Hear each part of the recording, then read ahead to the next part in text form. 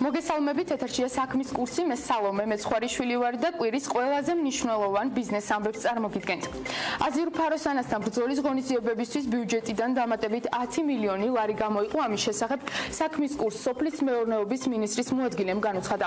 როგორც ცნობილია, მავნებლის წინააღმდეგ ღონისძიებები რამდენიმე დღის წინ ავიაციაც ჩაერთო, როგორც ნოდარ კერესელიძე ამბობს, ეს პროცესი გაგრძელდება მანამ, სანამ სეზონურად პოპულაციის შემცირება არ მოხდება.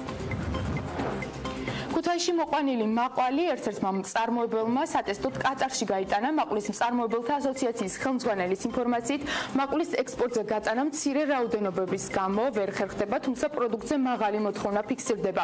კატარში დაახლოებით 30-40 კილოგრამი მაყვალი გავიდა პროდუქციამ საკმაოდ დიდი მოწონება დაიმსახურა თუმცა მცირე რაოდენობების გამო მუდმივი მიწოდება ვერ ხორციელდება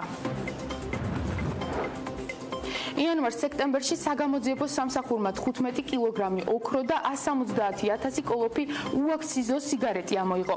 ფინანსთა სამინისტროს საგამოძიებო სამსახურის მიერ განხორციელებული საქმიანობის შედეგად არადეკლარირებულ მეწარმე სუბიექტებს სახელმწიფო ბიუჯეტის სასარგებლოდ 70 მილიონი ლარი დაერიცხათ. ამასთან 2017 წლის განვლილი პერიოდის განმავლობაში გამოძიება დასრულდა და სასამართლოში გადაიგზავნა 351 სისხლის სამართლის საქმე.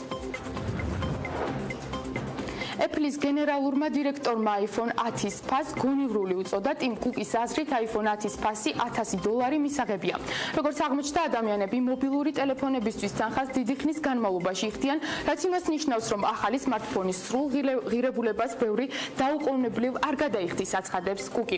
აღსანიშნავია, რომ iPhone 10 12 სექტემბერს კალიფორნიაში წარადგინეს.